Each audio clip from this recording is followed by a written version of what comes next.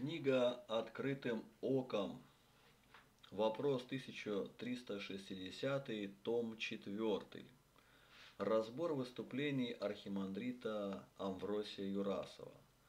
Книга 2, вопрос 26. Сейчас многие говорят о пользе возрождения язычества в России. Может быть, действительно язычество не так и плохо? Отвечает архимандрит Амвросий Юрасов. Каждый священник знает, как мстят злые духи за то, что священник помогает людям освобождаться от грехов.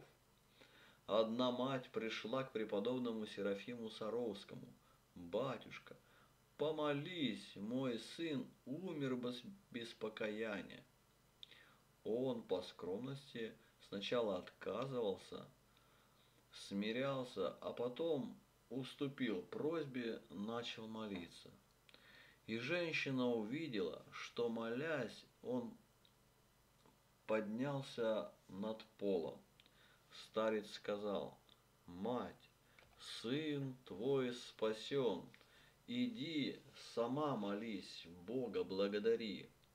Она ушла, а перед смертью преподобный Серафим показал своему келейнику тело, откуда бесы вырвали кусок.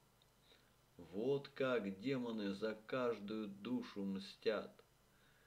Не так просто молиться за спасение людей.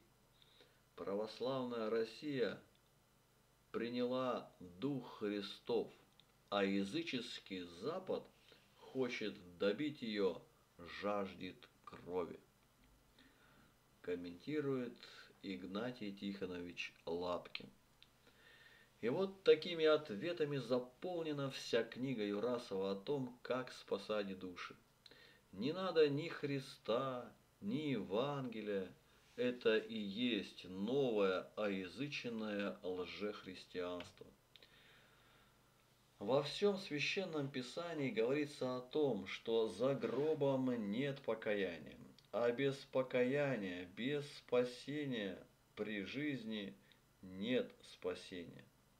Здесь совершенно нечего доказывать. И любой человек, который хотя бы раз читал Библию, скажет, откуда Амвросий все это берет. Слово «не покаялся» говорит о том, что человек жил вне Христа – не принял Божий дар, отверг Божью любовь, а таковых Священное Писание предупредило, что они, не принимая Сына Божия, попирают Его, не приняли искупительной крови Иисуса, крови не в чаше на литургии, а верою той крови, которую Сын Божий пролил на Голгофе. А священники сузили это все до литургии и до чаши в алтаре.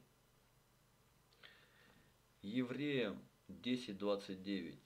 То сколь тягчайшему, думаете, наказанию повинен будет тот, кто попирает Сына Божия и не почитает за святыню кровь завета – которую освящен, и духа благодати оскорбляет. Евангелие от Иоанна 3.36. Верующий в Сына имеет жизнь вечную, а неверующий в Сына не увидит жизни, но гнев Божий пребывает на нем. Псалом 101.3. Не скрывай лица Твоего от меня, в день скорби моей преклони ко мне ухо Твое. В день, когда воззову к Тебе, скоро услышь меня. Псалом 49, 17. А сам ненавидишь наставления мои, и слова мои бросаешь за себя. Свою преступную самоизоляцию в стенах храма – священство усиленно пытается оправдывать и пытается под это подвести хотя бы и гнилое обоснование через таких апологетов, как Амвросий. На это можно сказать, если правы вы, то не прав Бог, потому что проповедуете взаимоисключающие учения по сравнению с Евангелием. А мне в России места не нашлось. Такое, впрочем, не с одним бывало. Не со времен ли оно повелось, немногих ли чужбинушка смиряла? О, Родина, ты, как и мать, одна, и потому не требуя отчета за ту свободу, что даешь сынам, свободу восходить на эшафоты. Распятая, уже ли это ты?